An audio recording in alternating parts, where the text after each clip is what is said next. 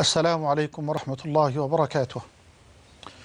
اللهم لك الحمد أنت نور السماوات والأرض ومن فيهن ولك الحمد أنت قيوم السماوات والأرض ومن فيهن ولك الحمد أنت ملك السماوات والأرض ومن فيهن ولك الحمد أنت الحق ووعدك حق ولقاؤك حق والجنة حق والنار حق والنبيون حق ومحمد صلى الله عليه وسلم حق. اللهم لك أسلمت وبك آمنت وعليك توكلت وإليك أنبت وبك خاصمت وإليك حاكمت. فاغفر لي ما قدمت وما أخرت وما أسررت وما أعلنت. أنت المقدم وأنت المؤخر. لا إله إلا أنت. وأشهد أن لا إله إلا الله وحده لا شريك له لا ند له ولا ضد له ولا والد له ولا ولد له ولا زوج له. قل هو الله أحد الله الصمد لم يلد ولم يولد ولم يكن له كفوا أحد ليس كمثله شيء وهو السميع البصير. موصوف بكل جلال وجمال وكمال منزه عن العيوب والنقائص والمثال حي لا يموت قيوم لا ينام. الله لا إله إلا هو الحي القيوم لا تأخذه سنة ولا نوم. له ما في السماوات وما في الأرض من ذا الذي يشفع عنده إلا بإذنه. يعلم ما بين أيديهم وما خلفهم ولا يحيطون بشيء من علمه إلا بما شاء. وسع كرسيه السماوات والأرض ولا يؤوده حفظهما وهو العلي العظيم. وأشهد أن سيدنا حبيبنا وإمامنا وأسوتنا وقدوتنا محمدا عبد الله ورسوله وصفي الله وخليله أدى الأمانة وبلغ الرسالة ونصح للأمة فكشف الله به الغمة وجاهد في الله حق جهاده حتى أتاه اليقين. فاللهم اجزه عنا خير ما جزيت نبيا عن أمته ورسولا عن دعوته ورسالته وصل اللهم وسلم وزد وبارك عليه وعلى آله وأصحابه وأحبابه وأتباعه وعلى كل من اهتدى بهديه واستنى بسنته وقتفى أثره إلى يوم الدين. أما بعد فحياكم الله جميعا أيها الإخوة والأخوات. وطبتم وطاب سعيكم وممشاكم وتبوأتم من الجنة منزلا. وأسأل الحليم الكريم جل وعلا الذي جمعني بحضراتكم في هذه الساعة المباركة وفي هذه الليلة المرجوة الكريمة المباركة على طاعته أسأله جل وعلا أن يجمعنا في الآخرة مع سيد الدعاة وإمام النبيين في جنته ودار مقامته إنه ولي ذلك ومولاه. أحبتي في الله. كلمة. برنامج أختار فيه كل ليلة كلمة واحدة. أزرع في بستانها ورد حياتي وأزهار أنفاسي ورحيق حبي. وحلال عليكم أيها الأطهار قطف الأزهار وجني الثمار. ونحن الليلة على موعد مع كلمة مهمة بل وخطيرة بل وجليلة أيضا.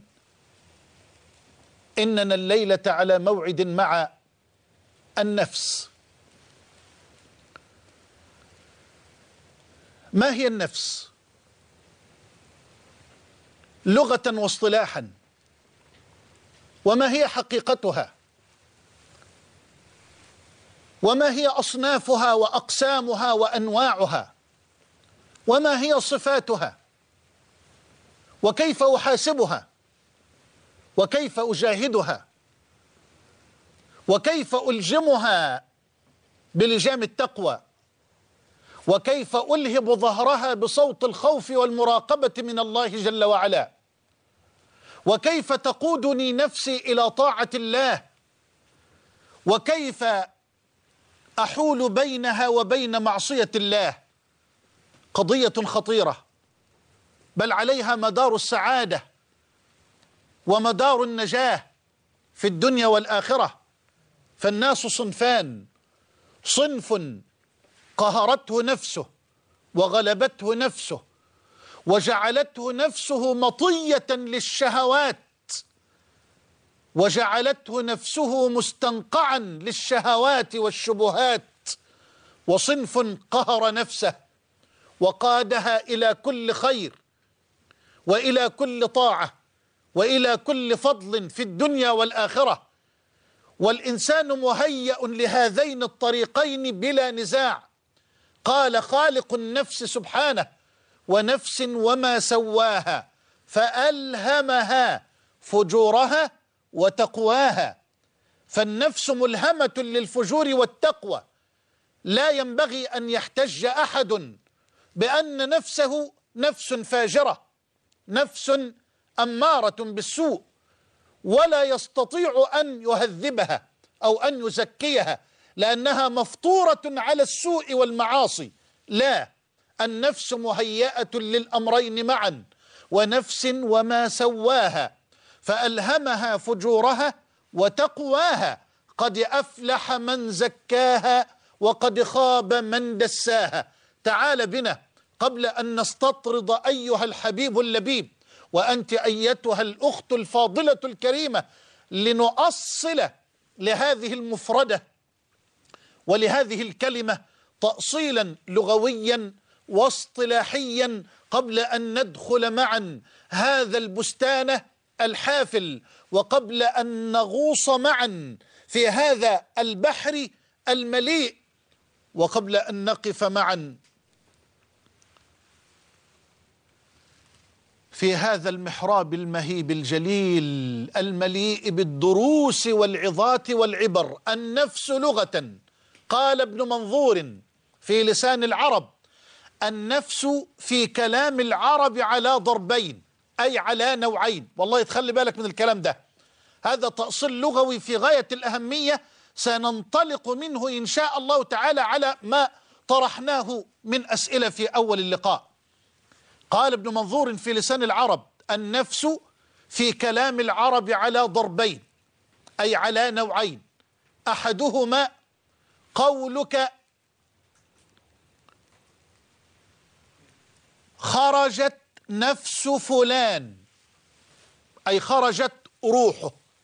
آه يبقى أول معنى من معاني النفس في. في كلام العرب الروح. خلي بالك يقول لك خرجت نفس فلان أي خرجت روحه. طيب ومنه قول العرب أيضا في نفس فلان أن يعمل كذا وكذا. يقول لك أنا في نفسي أعمل كذا. وفي نفسي أبقى كذا. في نفس فلان أن يعمل كذا وكذا. أي في روعه. أي في روعه. والمعنى الآخر. قولك قتل فلان نفسه وأهلك فلان نفسه. فالنفس هنا معناها جملة الشيء وحقيقته.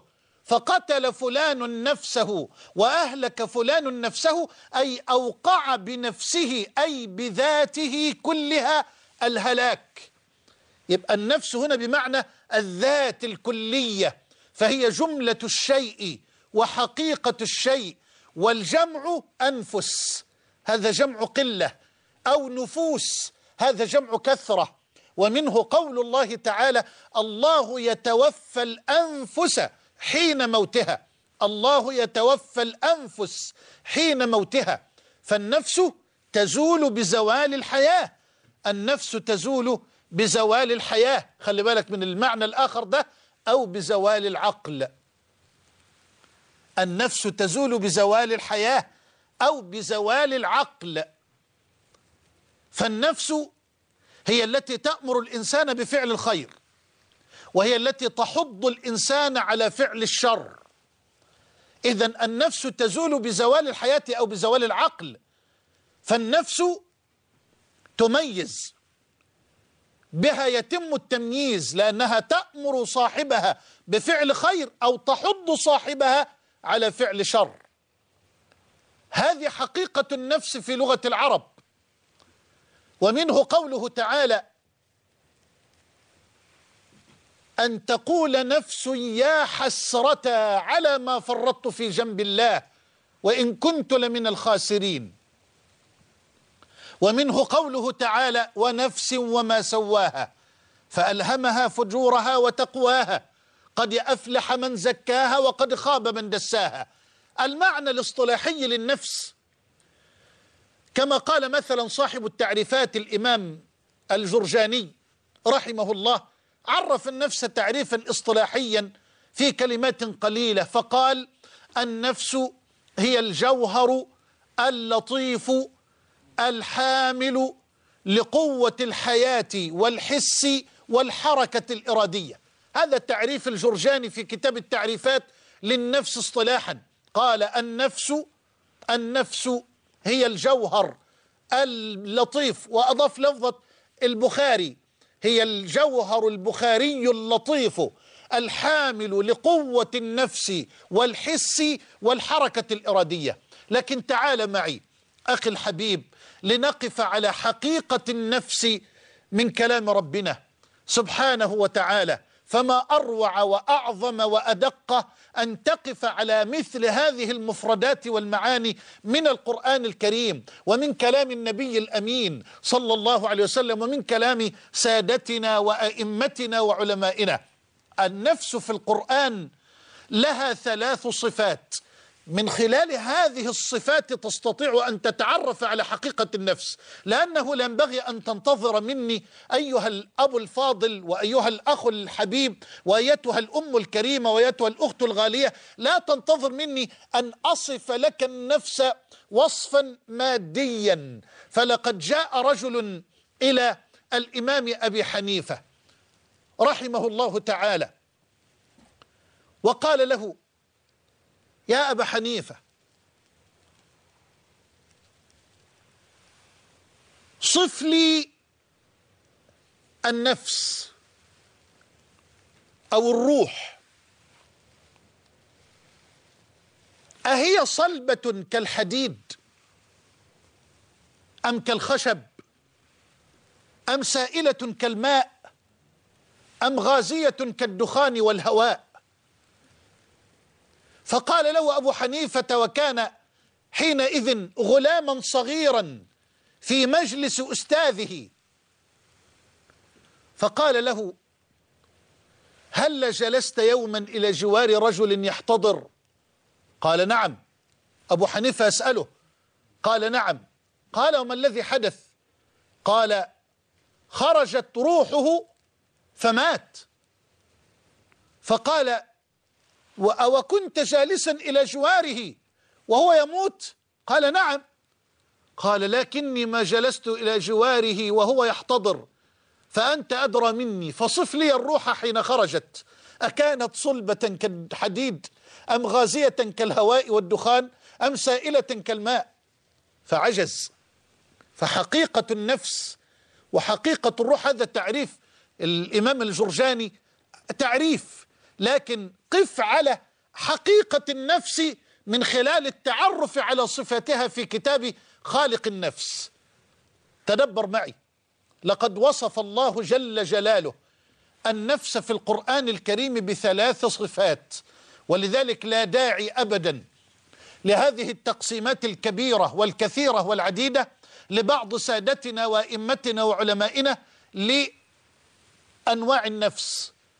فلقد عد بعضهم أنواع كثيرة للنفس هي نفس واحدة. لكنها موصوفة في القرآن بثلاث صفات فقط. من أضاف بعد ذلك صفات أخرى فإنما هي صفات تابعة لهذه الصفات الثلاث التي وصف بها خالق النفس النفس في القرآن الكريم. خلي بالك معايا انتبه معي ده موضوعك. وموضوعي وموضوع كل إنسان يبحث عن النجاة يبحث عن النجاة. لأن الشياطين أو لأن مردة الشياطين في رمضان مقيدة. ومع ذلك ترى في رمضان الذنوب والمعاصي بصورة لا مثيل لها طوال العام.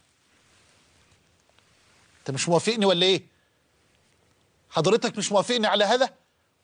مرضت الشياطين بنص بنص كلام الصادق مقيدة مسلسلة كما قال الصادق الذي لا ينطق عن الهوى فيه أي في رمضان تغل مردة الشياطين أي تقيد وتسلسل. طيب المعاصي دي المعاصي اللي في رمضان الذنوب الكبائر الصغائر انفلات الناس عن أخلاقها انفلات الناس من أعصابها.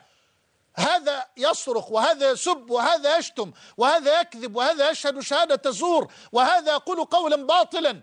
وكل هذا باسم رمضان. يقول لك ما تضايقنيش أنا صايم. ما تخرجنيش عن أخلاقي أنا صايم. الله أكبر. كأن الصيام ما شرع إلا ليخرج الناس عن أخلاقها. وكأن الصيام ما شرع إلا ليتفلت الناس من الأدب والعفة. والخلق والفضل والوفاء والصدق والقيم. يا للمصيبة إن الله وإنا إليه راجعون. انقلبت الأمور تماما. رمضان شهر التربية والتزكية والتصفية والتهذيب والتأديب. أصبح شهر التفلت من الأخلاق. ليه؟ مع أن مردة الشياطين مغلة. آه خلي بالك. المصائب دي كلها سببها إيه؟ النفس. النفس. النفوس لم تزكى. النفوس لم تزكى.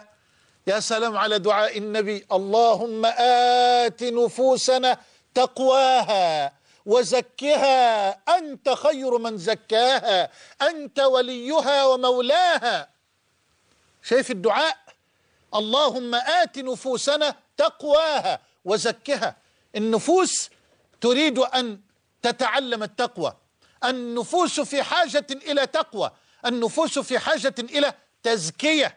إلى تزكية. بدون تقوى وبدون تزكية لا تستطيع أبدا أن تكف لسانا عن غيبة أو عن نميمة أو عن شهادة زور أو عن قول بالباطل. لا تستطيع أن تكف عينا عن نظر إلى الحرام. لا تستطيع أن تكف يدا عن معصية أو أن تكف قدما عن السعي إلى معصية أو إلى ظلم خلق الله وعباد الله أبدا.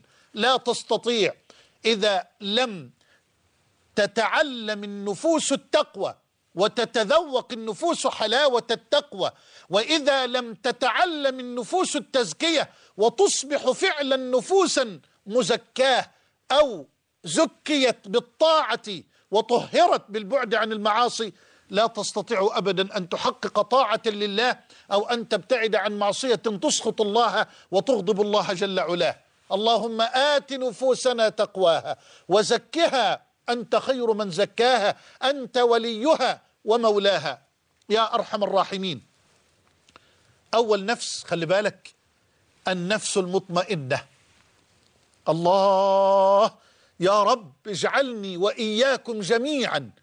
اللهم اجعلني وإياكم جميعا من أصحاب النفوس المطمئنة. يا أيتها النفس المطمئنة ارجعي إلى ربك راضية مرضية. فادخلي في عبادي وادخلي جنتي.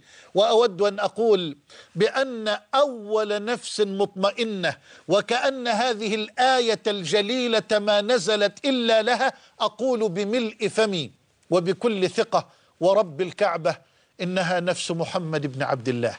صلى الله عليه وآله ومن والاه. يا أيتها النفس المطمئنة هي نفس محمد. صلى الله عليه وسلم.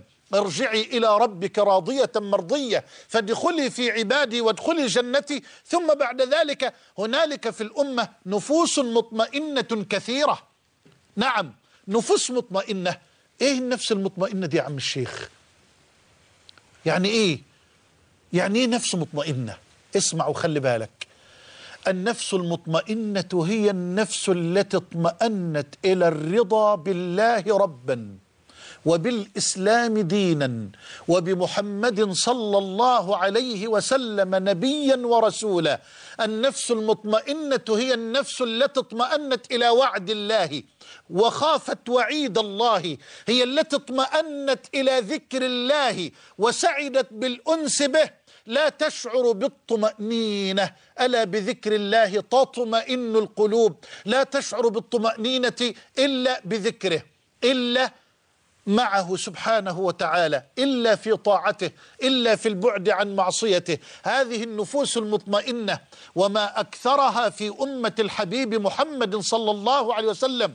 نفس أو نفوس عرفت ربها جل وعلا بأسماء جلاله وصفات كماله فخرجت اسمع اسمع خلي بالك فخرجت من ضيق الجهل إلى فضاء العلم. ومن سجن الهوى إلى ساحة الهدى ومن نجاسة النفس إلى طهارة القدس. الله الله الله الله الله الله الله الله. اللهم اجعلنا منهم يا رب. نفوس مطمئنة خلاص فيه نفس. لا يشعر صاحبها بالطمأنينة ولا بالأنس ولا باللذة ولا بالراحة ولا بالسعادة ولا بالرضا. إلا وهو مع ربه سبحانه وتعالى. والله الذي لا إله غيره. إن أنسه في خلوته بربه جل وعلا يفوق أنسه بزوجته ولو كانت ملكة حسن وجمال في ساعة طيبة من ساعات الحلال والأنس. أنسه بربه في خلوته يفوق أنسه بأسعد لحظة يقضيها مع زوجته التي يحبها من كل قلبه. في الحلال الطيب. لا لا لا لا. شتان شتان ورب الكعبة بين هذه وتلك. فأين نور السهى من شمس الضحى؟ وأين الثرى من الثريا؟ وأين الأرض من كواكب الجوزاء؟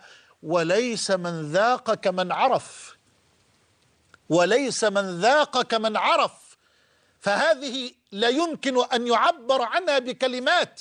هذه الحالات أو الأحوال أو المشاعر أو هذا الترقي لا يمكن ابدا أن يجسد بكلمات مادية لا يمكن على الإطلاق أن يعبر عنه عالم ولو كان من أهل البلاغة والفصاحة والبيان وإنما هذا حال لا بد أن يتذوق طعمه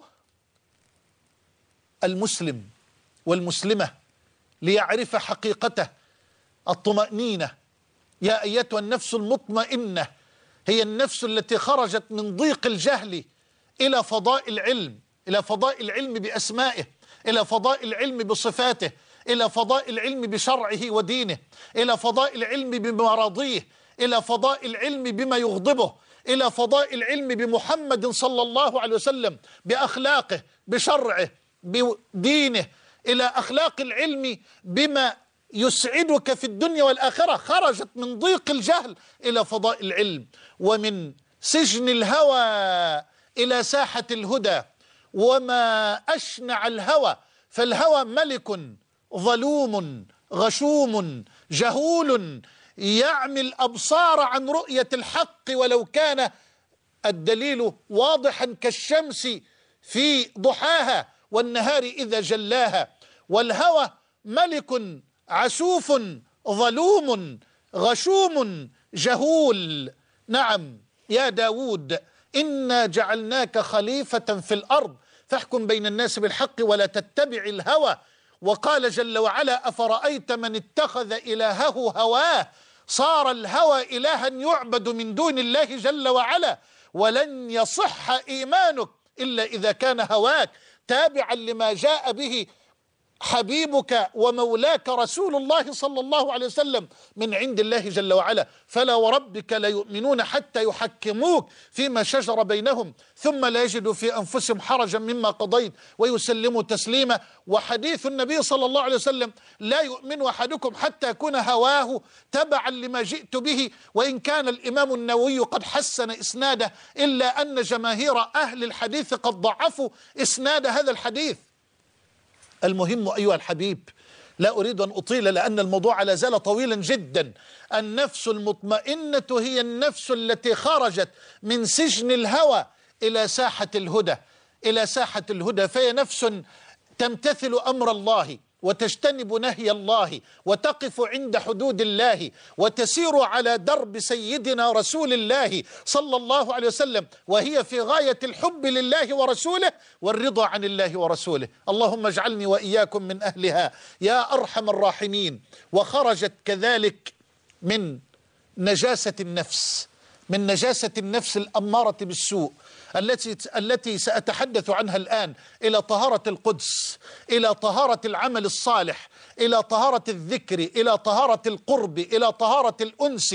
خرجت من كل ما يسخط الله ومن كل ما يكرهه الله ومن كل ما يغضب الله إلى كل ما يحبه الله وما يرضى عنه ربك جل وعلا. سبحانه سبحانه سبحانه. النفس الثانية هي النفس اللوامة وهي نفس كريمة أبية. لأن الله جل وعلا أقسم بها ولا يقسم الله بشيء إلا إذا كان هذا الشيء المقسم به عظيما. لا أقسم بيوم القيامة ولا أقسم بالنفس اللوامة. الله النفس اللوامة نفس المؤمن. نعم. هل نفسك نفس اللوامة؟ إن كانت كذلك فأبشر بالخير. إيه النفس اللوامة دي؟ النفس اللوامة هي التي تلوم صاحبها على الخير والشر. على الخير والشر. طب على الشر مقبول ومعقول. إنما تلومه على الخير ليه؟ تلومه على الخير لما لم يكثر منه. الله الله. لما لم يكثر منه. ليه الليلة دي ثلاث ركعات؟ ليه ما كانوش 11 ركعة؟ ليه الليلة دي طلعت ألف جنيه؟ ليه ما طلعتش عشرة؟ ليه ما طلعتش مئة ألف؟ ليه ما خرجتش مليون؟ كلهم بحسبه. طب النظرة دي ليه النظرة دي؟ النظرة دي نظرة محرمة. طب الكلمة دي قلتها ليه؟ وماذا كانت نيتك؟ وما كان قصدك؟ طب انت ذهبت إلى هذا المكان الفلاني ليه؟ وخرجت من المكان الفلاني خرجت ليه؟ وكنت تقصد إيه؟ انت قلت ليه وسكت ليه؟ موضوع كبير.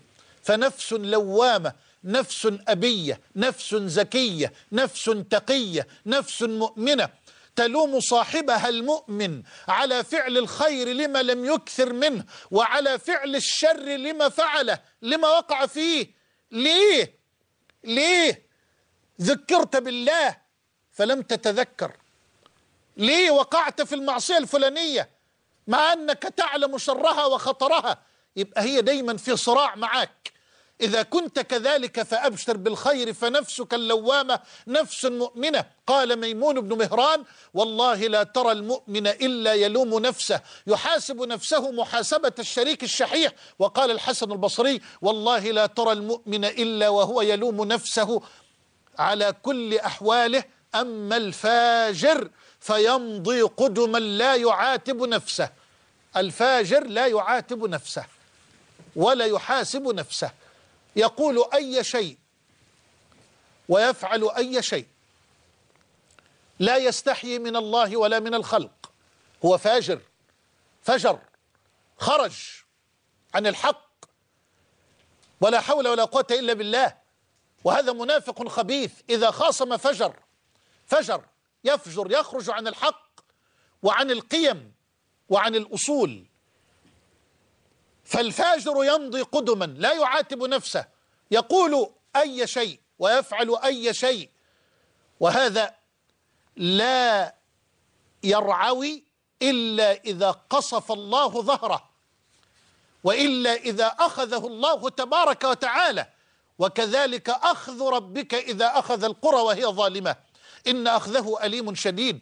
وقال صلى الله عليه وسلم إن الله لا يملي لا يملي للظالم حتى إذا أخذه لن يفلت. والله الذي لا إله غيره لن يتركه الله جل وعلا أبدا لا في الدنيا ولا في الآخرة. لأن النبي صلى الله عليه وسلم قال اثنتان يعجلهما الله في الدنيا قبل الآخرة. البغي يعني الظلم والعقوق وهذا من الظلم. هذا من الظلم للنفس وللغير. بل وقد يقع في ظلم لنفسه أو لغيره أو قد يقع في ظلم لدينه الذي ينتسب إليه. يبقى النفس اللوامة نفس أبية نفس زكية تلوم صاحبها على الخير. لماذا لم يكثر منه؟ وعلى الشر لماذا فعل الشر ووقع فيه؟ طب النفس التالتة أو الصفة التالتة للنفس لأنني كما ذكرت هي نفس واحدة لها صفات ثلاث كما قال ربنا تبارك وتعالى النفس الثالثة أو الصفة الثالثة هي الأمارة بالسوء. إن النفس لأمارة بالسوء إلا ما رحم ربي. إن ربي غفور رحيم. النفس الأمارة نفس جاهلة نفس ظالمة تأمر صاحبها بالمعاصي وتحضه على الشهوات. وتزين له اللهو والفسق والفجور بل وربما الكبائر. خلي بالك خلي بالك من النفس الأمارة. النفس كما ذكرت مهيئة لتكون لوامة ومطمئنة ولتكون أمارة. ونفس وما سواها فألهمها فجورها وتقواها. وهذا قسم أن الله عز وجل يقسم من أول السورة والشمس وضحاها والقمر إذا تلاها والنهار إذا جلاها والليل إذا يغشاها والسماء وما بناها والأرض وما طحاها ونفس وما سواها فألهمها فجورها وتقواها. يقسم الله عز وجل كل هذا القسم على هذه الحقيقة. قد أفلح من زكاها وقد خاب من دساها. كل هذا القسم على هذه الحقيقة قد أفلح من زكى نفسه. بماذا؟ بالطاعة بالتوحيد بالاتباع بامتثال الأمر باجتناب النهي بالوقوف عند الحد بالبعد عن المعاصي بالبعد عن الشهوات وبيئة الشهوات بالبعد عن الشبهات وشباك الشبهات. وأنا ميسر لذلك وأنت ميسر لذلك. لا تحتج بأنك لست مهيئا لذلك لأنه في نفس البيئة التي تعيشها وفي نفس الزمن الذي تحيا فيه هناك إلى جوارك من أقرانك من إخوانك من شباب الأمة من يعمل لدين الله جل وعلا. وأنت غارق في الشهوات وأنت ساقط في شباك الشبهات. لا تحتج فغيرك في طاعة وغيرك في دعوة لدين الله تبارك وتعالى. فالنفس مهيئة للأمرين معه إما أن تزكيها بالطاعة وإما أن تدسى بالمعصية ولا حول ولا قوة إلا بالله العلي العظيم. فالنفس الأمارة بالسوء نفس جاهلة نفس ظالمة. لو أطاعها صاحبها أهلكته في الدنيا والآخرة وقادته إلى كل ردى. إلى كل ردى. فالناس كما ذكرت صنفان صنف قهر نفسه بالطاعة وألجمها بلجام الخوف والمراقبة. وحاسبها محاسبة الشريك الشحيح على كل قولة وعلى كل فعلة وعلى كل خطوة وعلى كل عمل وصنف استسلم لها.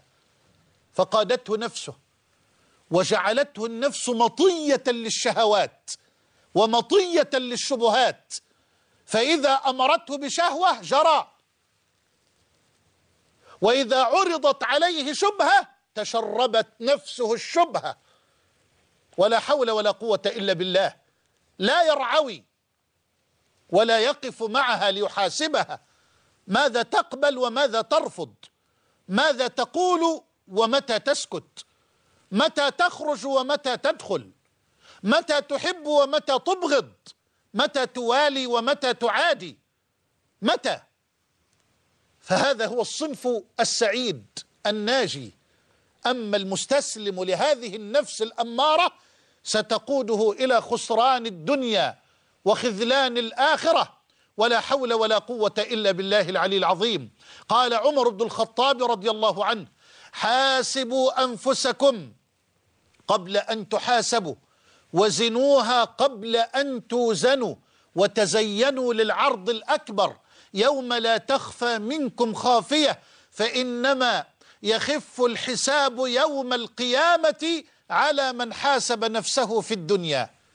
يا سلام لو تحاسب نفسك زي ما بتحاسب شريكك في التجارة والله العظيم تنجو في الدنيا والآخرة. لو حاسبنا أنفسنا كما نحاسب شركاءنا في التجارة لنجونا في الدنيا والآخرة.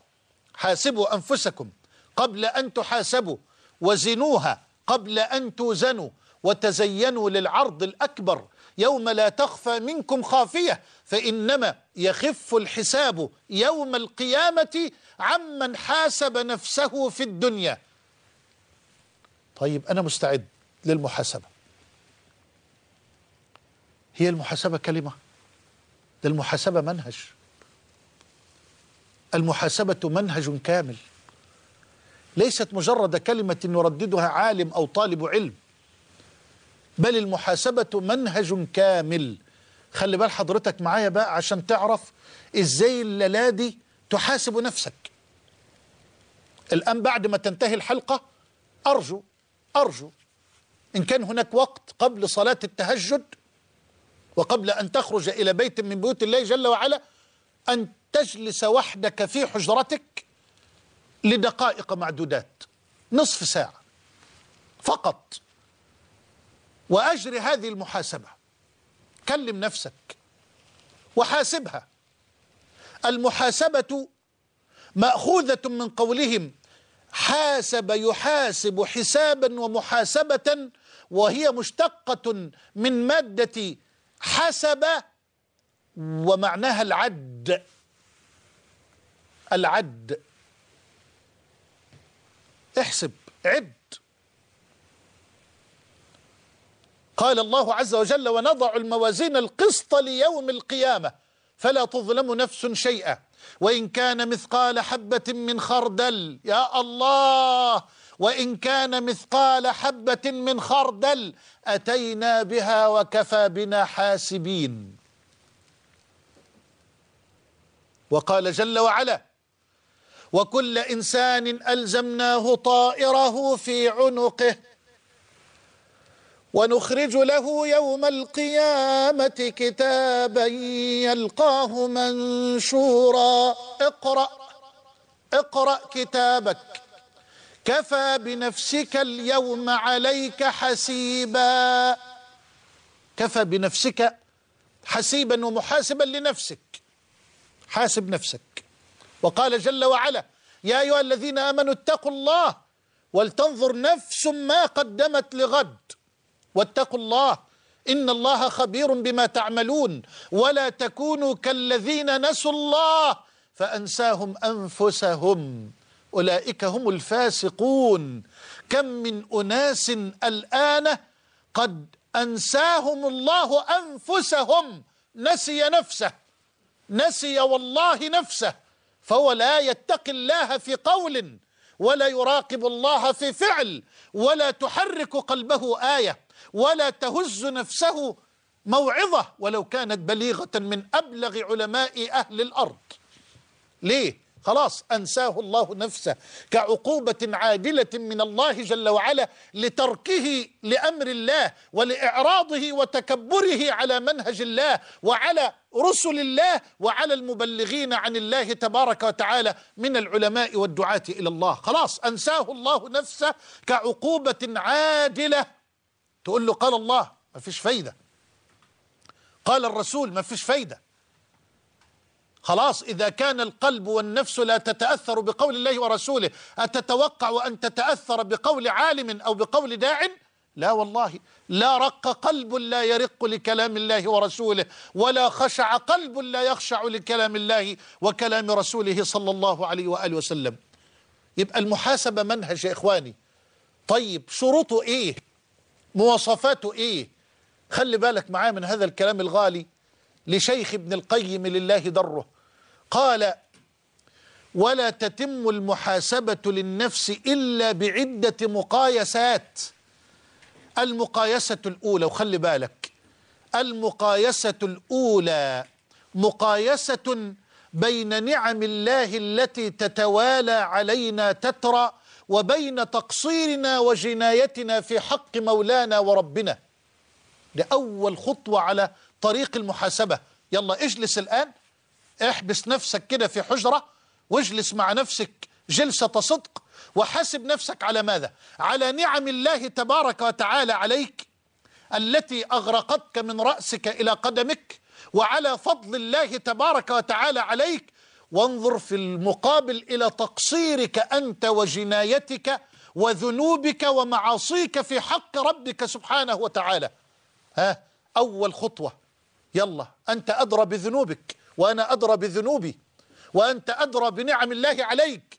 يا يا ينفع ينفع تعتقد إن النعم هي الفلوس بس هي الأموال فقط.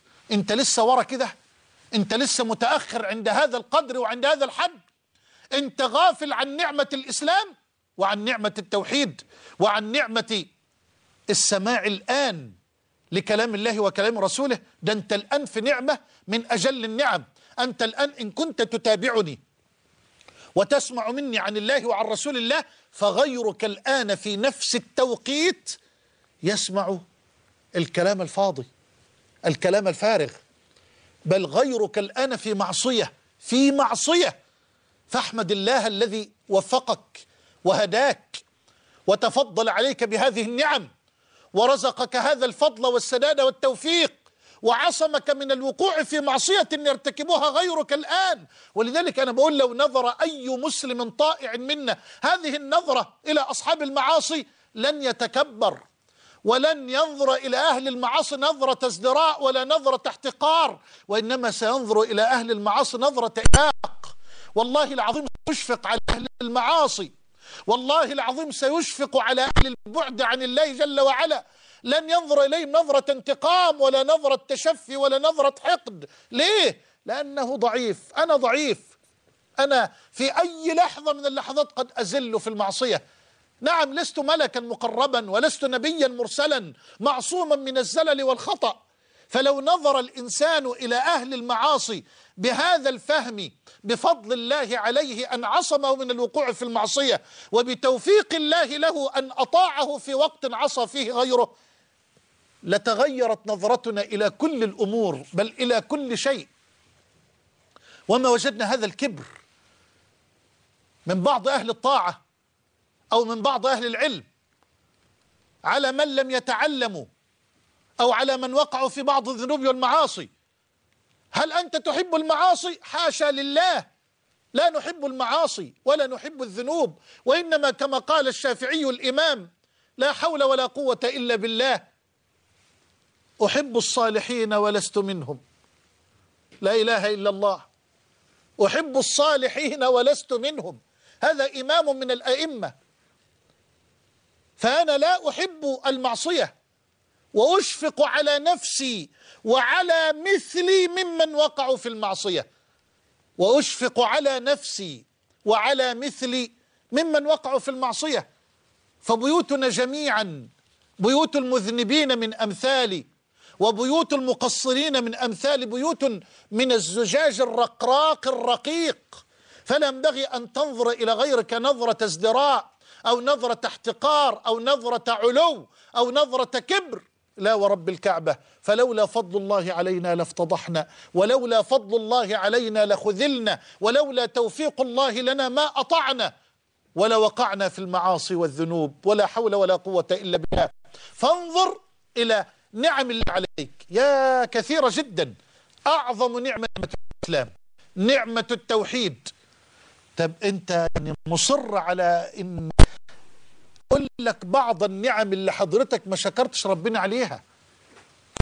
في نعم كتير إحنا ما شكرناش ربنا جل وعلا عليها. والله ما شكرناه عليها. وهي كثيرة كثيرة. عاوز مثال؟ مثال واحد. هل شكرت الله على نعمة العقل؟ شكرت الله على نعمة العقل؟ لقد دخلت يوما لأزور بعض إخواننا وأخواتنا في مستشفى من مستشفيات الأمراض النفسية أو العقلية. والله يا إخوة وقدر الله أن ندخل عنبر الأول وكان للنساء. جاءت فتاة من أجمل ما خلق ربك سبحانه وتعالى. في 22 أو الثالثة والعشرين من عمرها. عرفت بعد ذلك أنها من أسرة مرموقة جدا وكانت طالبة في كلية الطب. خرجت من كلية الطب على مستشفى الأمراض العقلية. حين دخلنا جاءت الفتاة ولا تعرفنا. وظلت تضحك بصوت مرتفع. ثم بعد ذلك خطف هذا الغطاء على رأسي هذه القطرة. أخذتها ثم وضعتها على رأسها. ثم وضعتها مرة أخرى على رأسي. ثم وقفت وبدأت تخلع ملابسها كما ولدتها أمها ثم أخذت تصرخ وتبكي. خرجت أمها مسرعا وأنا أبكي وأقول للإخوة معي يا إخواني أشهد الله ثم أشهدكم أنني ما شكرت الله قبل هذه اللحظة على نعمة العقل. حضرتك تبالك من نعمة العقل؟ هل شكرت الله مرة؟ مرة واحدة على نعمة العقل. أن تعقل أن يرزقك الله عقلا تعقل به وتعي به. لا تهرف بما لا تعرف. نعمة عظيمة. طب شكرت الله مرة واحدة على خروجك من دورة المياه أو الحمام على قدميك بعدما قضيت حاجتك واسترحت وطهرت نفسك بيديك هل شكرت الله على هذه النعمة؟ شكرت الله على هذه النعمة كم مرة؟ كم مرة؟ كان الصديق إذا دخل الخلاء وخرج وضع يده على بطنه وقال يا لها من نعمة منسية غفل عن شكرها كثير من الناس ابن السماك الزاهد العابد العالم خرج مع ملك من الملوك في رحلة صيد فانقطع الماء أو نفد الماء من الملك فألح الملك بعد عودته الماء البارد. ألح هيا ائتوني بالماء البارد. فلما قدم له الماء البارد قال له ابن السماك يا سيدي أستحلفك بالله لو منع منك هذا الكوب فبكم تشتريه؟ قال بنصف ملكي. قال أسألك بالله يا سيدي ولو منع فيك هذا الكوب لو حبس الماء فيك فبكم تشتري إخراجه؟ قال بنصفه الآخر. فبكى ابن السماك وقال اشرب هنأك الله وأف لملك لا يساوي شربة ماء. حمدت هل شكرت الله وحمدت الله على نعمة الماء على نعمة الماء على نعمة الماء الذي تشربه على نعمة الماء البارد لتسألن يومئذ عن النعيم. ده نعم كثيرة جدا. أعظم نعمة نعمة الإسلام. أنك موحد لله أنك مسلم. والله العظيم نعمة من أجل النعم ومن أشرف النعم ومن أعظم النعم. ومما زادني فخرا وتيها وكدت بأخمصي أطأ الثريا دخولي تحت قولك يا عبادي وأن صيرت أحمد لي نبيا أنا لا أريد أن أطيل النفس في كل مقايسة. المهم اجلس الآن وانظر إلى نعم الله عليك إلى نعمة الإسلام إلى نعمة العقل. إلى نعمة الصحة إلى نعمة العافية إلى نعمة النطق إلى نعمة البصر إلى نعمة السمع إلى نعمة الحركة. الحركة. الإد تمسك وتترك.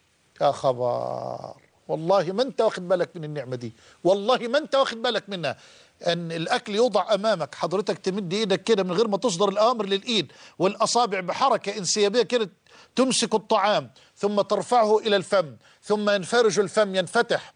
من غير ما تصدر أوامر. وبعدين القواطع تقطع الطعام والأنياب تمزق والضروس تطحن واللسان يتحرك شمال ويمين واللعاب يسهل مسألة الهضم أو يسهل مسألة المضغ. وبعدين لسان المزمار البوابة المنيعة دي تنفتح أو تفتح حين ينزل الطعام إلى المعدة. وبعدين المعدة تقوم بدورها والأمعاء الدقيقة بدورها. وبعدين يتحول هذا الغذاء إلى دم وبعدين يوصلوه يوصل للقلب والقلب يقوم بدوره وكل عضو في القلب الأذن والبطن والص... يعني شغلانة كبيرة وحضرتك في غفلة. لا تصدر أمرا واحدا إلى أي عضو من هذه الأعضاء. هل أخطأت مرة في الظلام وأنت تأكل؟ فوضعت يدك الطعام في عينك ولم تضعه في فمك. نعم كثيرة يا أخوانا نعم كثيرة نسأل الله أن يتم علينا وعليكم النعم. طب ما تنظر بقى في المقابل للذنوب. يا خبر أبيض. اللهم سلم سلم كان توبة ابن الصمة من أشد الناس محاسبة لنفسه فجلس يوما فعد سنوات عمره فوجدها قد بلغت الستين أو يزيد وعد الأيام فوجدها تزيد على واحد وعشرين ألف يوم.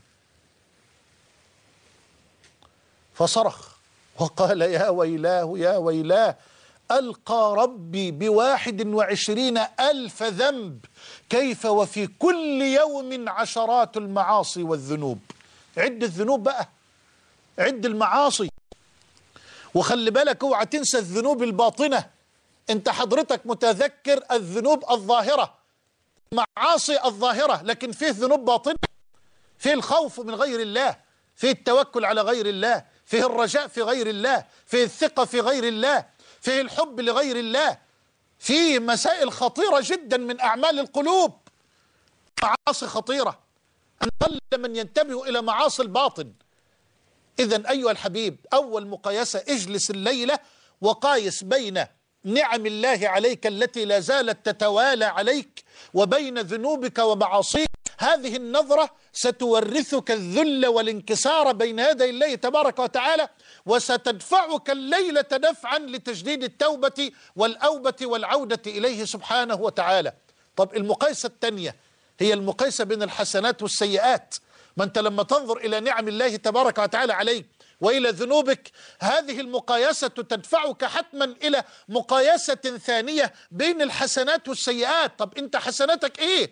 وسيئاتك إيه؟ وخلي بالك يزداد الأمر خطرا إذا علمت أنه قد تهلك بذنب. والله العظيم بمعصية واحدة. وقد تنجو بحسنة واحدة. فمن يعمل مثقال ذرة خيرا يره ومن يعمل مثقال ذرة شرا يره ونضع الموازين القسط ليوم القيامة. فلا تظلم نفس شيئا وإن كان مثقال حبة من خردل. أتينا بها وكفى بنا. حاسبين. فأما من ثقلت موازينه فهو في عيشة راضية. وأما من خفت موازينه فأمه هاوية. وما أدراك ما هي. نار حامية. الله الله الله الله. يبقى في حسنات وسيئات. ما فيش دراهم ولا دنانير. ما فيش دولارات ولا ريالات ولا جنيها ولا جنيهات. لا ده في حسنات وسيئات. فقيس الآن بين حسناتك. هل حسناتك تغلب السيئات أم أن السيئات تغلب الحسنات؟ بكثير. والبشير النذير يقول أتدرون من المفلس؟ قالوا المفلس من لا درهم له ولا متاع. قال إن المفلس من أمتي من يأتي يوم القيامة بصلاة. الله أكبر وصيام وزكاة وحج. ولكن يأتي وقد قذف هذا وشتم هذا وسفك دم هذا وأكل مال هذا فيأخذ هذا من حسناته وهذا من حسناته. فإن فنيت حسناته قبل أن يقضى ما عليه أخذ من سيئاتهم ثم طرحت عليه ثم طرح في النار. هو ده المفلس. هو ده المفلس والله لو كان يمتلك مليارات الدولارات ده مفلس. هذا مفلس. ليه؟ لأن حسناته ستضيع وسيحمل سيئات غيره. سيتحمل سيئات غيره. وعند الله تجتمع الخصوم ولا يضيع حق أبدا. عند الله الحق عدل سبحانه وتعالى. والله لا تضيع عنده الحقوق. فما شئت وافعل ما شئت واعلم يقينا بعد قولك وفعلك أنك موقوف بين يدي المال الحق للسؤال عن القليل والكثير وعن الصغير والكبير ورب الكعبة ورب الكعبة لن تزول قدماك بين يدي ربك ومولاك إلا بعد محاسبة دقيقة وبعد سؤال عن كل قول تلفظت به وعن كل فعل فعلته وعن كل نية وهمة وإرادة عقدتها وعزمت عليها. لا تتصور أن الدنيا سوق سانفض ربح فيه من ربح وخسر فيه من خسر بلا وقوف بين يدي الله جل وعلا. المساءلة والمحاسبة. لا ورب الكعبة. لا ورب الكعبة. فمن يعمل مثقال ذرة خيرا يره ومن يعمل مثقال ذرة شرا يره. اقرأ كتابك كفى بنفسك اليوم عليك حسيبة. تذكروا قطوف يوم العرض عريانا. مستوحشا قلق الأحشاء حيرانة والنار تلهب من غيظ ومن حنق على العصاه ورب العرش غضبانة اقرأ كتابك يا عبد على مهل.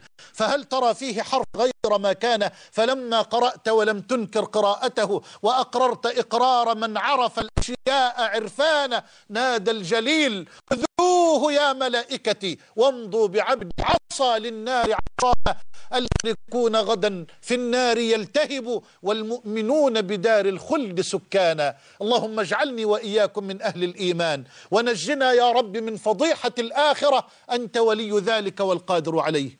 نعم أيها الحبيب اللبيب. يبقى المقايسة التانية مقايسة بين الحسنات والسيئات. طب أنا ما أقدرش على دي. آه ما هو مش أي حد يقدر على دي فعلا. ده المقايسة بين الحسنات والسيئات لا شروط. شروط. شروط إيه؟ خلي بالك ده كلام عالي جدا وغالي. قال شيخ ابن القيم المقايسة بين الحسنات والسيئات لا بد لها من شروط. ألا وهي؟ التمييز بين النعمة والفتنة ونور الحكمة. نور الحكمة والتمييز بين النعمة والفتنة وسوء الظن بالنفس واتهامها. لا لا لا تاني يا مولانا. تاني بالراحة كده.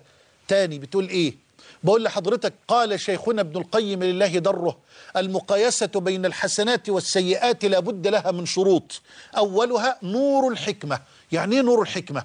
قال نور العلم الذي يستطيع الإنسان أن يميز به بين الحلال والحرام بين الخير والشر بين الحق والباطل بين الهدى والضلال. لو حضرتك ما عندكش القدرة على هذا من نفسك يبقى يجب عليك أن تتابع العلماء الربانيين والدعاة الصادقين وأن تمنح لنفسك من الوقت ومن الجهد ما يعينك ويؤهلك لتتعلم عن الله ورسوله. باختصار شديد يبقى نور الحكمة نور العلم الذي يعلمك الحلال والحرام وتميز به بين الحق والباطل والهدى والضلال. إن لم تستطع أن تتعلم أنت فاسمع للعلماء الربانيين والدعاة الصادقين. وما أكثر العلماء وما أكثر الدعاة من أهل الحق في أمة سيدنا رسول الله صلى الله عليه وآله بل ولا تخلو الأمة في أي زمان وفي أي مكان من قائم لله بحجة يبلغ عن الله ويبلغ عن رسوله عليه الصلاة والسلام. كما قال علي بن أبي طالب رضي الله عنه وأرضاه. طيب اتنين. يبقى الشرط الأول نور الحكمة. الشرط الثاني التمييز بين النعمة والفتنة عشان توازن بين الحسنات والسيئات. طب كيف أميز بين النعمة والفتنة؟ كل ما أنت فيه من نعم من نعمة المال من نعمة الإسلام من نعمة الصحة من نعمة الزوجة من نعمة الولد من نعمة البيان من نعمة الكلام من نعمة الشم من نعمة النظر من نعمة السمع من نعمة التبول من نعمة الخروج والدخول والقيام والجلوس نعم يا إخواني ميز بين هذه النعم إذا كانت نعم ولا فتن أميز إزاي أعرف إذا كانت نعم علامة رضا من الله ولا علامة فتنة من الله إزاي؟ آه خلي بالك من اللي هقوله ده. إذا كانت النعم بين يديك وما أكثرها تقربك من الله جل وعلا كل يوم فهي النعمة التي تستوجب الشكر منك. وإذا كانت النعم بين يديك تورثك الكبر والإعراض وتوقعك في المعاصي واللهو فاعلم بأنها الفتن في ثوب النعم واعلم بأنها المحن في ثوب المنح. يا الله ده كلام في غاية الخطورة ورب الكعبة. ما يقول لك الحمد لله لولا ربنا رضي عليا ما كانش اداني. لا مش كده. مش كده والله. فلقد أعطى قارونا وقد خسف به الأرض. إزاي تعرف إن العطاء ده دليل رضا؟ والعطاء دليل سخط وغضب. كيف؟ كيف أميز بين النعمة والفتنة؟ إذا كان العطاء بين يديك يقربك إلى الله فهو نعمة. وإذا كان العطاء بين يديك يبعدك عن الله فهو فتنة وهو محنة في ثوب المنحة. هتقف الليلة دي مع نفسك وقفة طويلة وقفة طويلة مع كل نعمة مع كل نعمة ومش هفصل. سأترك لحضراتكم التفصيل والجزئيات. ثم الشرط الثالث سوء الظن بالنفس. واتهام النفس. المؤمن يتهم نفسه دوما. لا يرى نفسه أبدا. والله لا يرى نفسه إلا غبي جاهل. والله لا يزكي نفسه إلا ظالم جاهل. فلا تزكوا أنفسكم. هو أعلم بمن اتقى. فمن شروط المقايسة بين الحسنات والسيئات أن تسيء الظن بنفسك. وأن تتهم نفسك.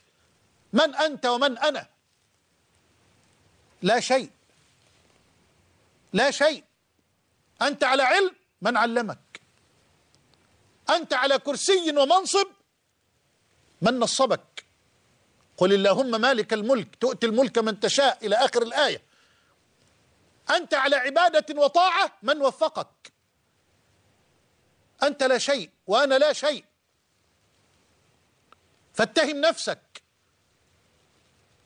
ويجب علي أن أسيء الظن أنا بنفسي. شرط من شروط الموازنة والمقايسة بين الحسنات والسيئات. رسول الله محمد صلى الله عليه وسلم أشرف الخلق وحبيب الحق. لما مات عثمان بن مضعون والحديث رواه البخاري وأنا أكرر هذا الحديث كثيرا جدا لأنه يخلع القلوب والله. لما مات عثمان بن مضعون وعثمان بن مضعون كما ذكرت هو أول من لقب بالسلف الصالح. وعثمان بن مضعون هو أول صحابي يدفن بالبقيع. وعثمان بن مضعون ممن شهدوا بدرا. عثمان بن مضعون كما في رواية أحمد بسند حسنه العلامة أحمد شاكر وإن كان الشيخ الألباني قد ضعف إسنادها لكن العلامة أحمد شاكر قد حسن إسناد هذه الرواية. لما مات عثمان بن مضعون قبله النبي وبكى. بكى رسول الله وسالت دموع رسول الله على خدي عثمان بن مضعون رضي الله عنه. يا له من شرف. ومع ذلك لما مات قالت امرأة من الأنصار يقال لها أم العلاء رحمة الله عليك أبا السائب. تقصد عثمان بن مضعون شهادتي عليك أن الله أكرمك. فسمعها النبي صلى الله عليه وسلم وقال وما يدريك أن الله أكرم. قالت سبحان الله فمن؟ يعني من هذا الذي سيكرمه الله يا رسول الله إن لم يكرم الله عثمان بن مضعون؟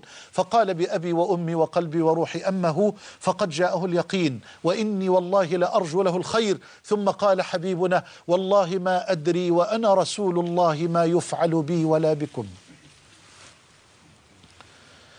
الله يا الله يا الله يا الله.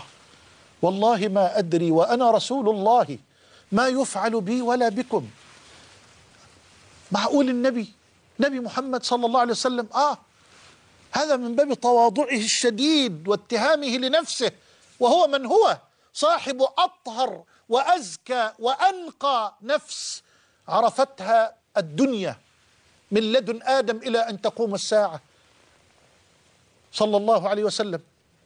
عمر عمر فاروق الذي هابه الشيطان وإذا رآه سالكا طريقا تركه له وسلك طريقا آخر. لما نام على فراش الموت بعدما طعنه العلج الوقح أبو لؤلؤة المجوسي ونقل الأسد إلى عرينه ودماؤه تنزف وقلبه معلق بربه سبحانه وتعالى. ومع ذلك يدخل عليه ابن عباس رضي الله عنهما فيثني عليه أبشر ببشرى الله لك يا أمير المؤمنين. فلقد صحبت رسول الله فأحسنت صحبته ثم توفي رسول الله وهو عنك راض وصحبت أبا بكر فأحسنت صحبته ثم توفي أبو بكر وهو عنك راض ثم صحبت أصحاب رسول الله فأحسنت صحبتهم ثم وليت فحكمت فعدلت. ثم صحبت أصحاب رسول الله فأحسنت صحبتهم ثم شهادة والله إنهم عنك لراضون. فنظر إليه عمر وقال إن المغرور من غررتموه. يا الله إن المغرور من غررتموه. والله والله لو أن لي ملء الأرض ذهبا لافتديت به اليوم من عذاب الله قبل أن أراه. والله لو أن لي ملء الأرض ذهبا لافتديت به اليوم من عذاب الله قبل أن أراه. ثم بكى عمر وقال وددت أن أخرج من الدنيا كفافا لا لي ولا علي. عمر عمر وددت أن أخرج من الدنيا كفافا لا لي ولا علي. معاذ بن جبل حبيب الحبيب حبيب الحبيب. وحبيب حبيبي حبيبي معاذ بن جبل الذي قال له النبي معاذ والله إني لأحبك. لما نام على فراش الموت بعدما ابتلي بطاعون الشام في ليلة الموت كل شوية يقول للصحابة اللي حواليه انظروا هل أصبح الصباح؟ فينظر أحدهما يقول لا, لا لسه الليل لم ينقضي. فيبكي معاذ ثم يقول انظروا هل أصبح الصباح؟ فيقول لا بعد. ماذا تريد يا معاذ؟ عاوز إيه من الصباح؟ فبكى معاذ بن جبل وقال أعوذ بالله من ليلة صباحها إلى النار. معاذ بن جبل خايف من النار. معاذ بن جبل خايف من النار. أعوذ بالله من ليلة صباحها إلى النار. ثم قال اللهم إنك تعلم أني كنت أخافك وأنا اليوم أرجوك وأنا اليوم أرجوك. اللهم إنك تعلم أني كنت أخافك وأنا اليوم أرجوك. اللهم إنك تعلم أنني ما أردت الدنيا لغرس الأشجار ولا لجري الأنهار ولكن لظمأ الهواجر ومكابدة الساعات ومزاحمة العلماء بالركب. أشهد أن لا إله إلا الله وأشهد أن محمد رسول الله. وخرجت روحه على التوحيد والإيمان. معاذ. آه سفيان الثوري يدخل عليه حماد بن سلمة وسفيان إمام الزهد والورع والعلم والتقى والخوف يدخل عليه حماد بن سلمة. فيرى سفيان الثوري يبكي بكاء شديدا وهو على فراش الموت. فيقول له حماد بن سلمة أبشر يا أبا عبد الله إنك مقبل على من كنت تخافه وترجوه. فيقول له سفيان أسألك بالله يا حماد أسألك بالله أتظن أن مثلي ينجو من النار؟ أتظن أن مثلي ينجو من النار؟ إن الله وإنا إليه راجعون. الشافعي إمامنا إمام الدنيا لما نام على فراش الموت يدخل عليه تلميذه المزني ويقول أبشر يا أبا عبد الله أبشر. كيف أصبحت؟ فيقول الشافعي أصبحت من الدنيا راحلا. وللإخوان مفارقا. ولعملي ملاقيا. ولا أدري يا مزني. أتصير روحي إلى الجنة فأهنيها أم إلى النار فأعزيها؟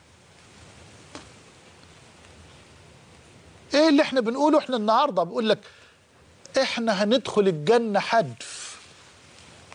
إذا ما دخلناش إحنا الجنة مين اللي يدخل الجنة؟ اتهم نفسك يا أخي. سوء الظن بالنفس. مش التزكية للنفس. مش أنا عالم أنا عابد. أنا أنا أنا. أنت لا شيء. وأنا في الطين. والله في الطين. وفي الوحل والتراب. ولولا ستر الله وفضله ما عبدناه. والله ولا اتقيناه. والله ولا خشيناه. فاجلس اتهم نفسك. وحاسبها الليلة. يا نفس يا نفس ما لي بضاعة إلا العمر فإن ضاع العمر ضاع رأس المال ضاع رأس المال. كل يوم ينقل يقل رأس مالك. كل يوم يمضي من عمرك ينقص رأس مالك يا حبيبي في الله يا ولد الغالي. كل يوم يمر ينقص رأس المال بقدر الساعات التي تمضي. قال لقمان الحكيم لولده أي بني إنك من يوم أن نزلت إلى الدنيا استدبرت الدنيا واستقبلت الآخرة فأنت إلى دار تقبل عليها أقرب. من دار تبتعد عنها. يا حبيبي كل يوم يمر يقربنا إلى الله يوما ويبعدنا عن الدنيا يوما.